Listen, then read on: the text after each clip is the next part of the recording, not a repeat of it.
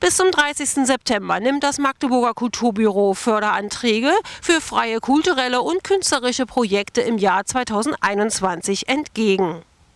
Schwerpunkte der Förderung sind öffentliche Veranstaltungen wie Ausstellungen, Konzerte, Lesungen, Theateraufführungen, Vorträge, Kurse und Workshops.